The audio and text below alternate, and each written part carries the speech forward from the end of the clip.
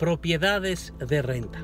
Si usted tiene una segunda casa y la renta, el ingreso lo debe reportar en el anexo E, de tal manera que ahí usted puede deducir todos los gastos, tales como la depreciación, el interés pagado en la hipoteca, los impuestos que usted paga por la propiedad, el seguro que pagará por la propiedad.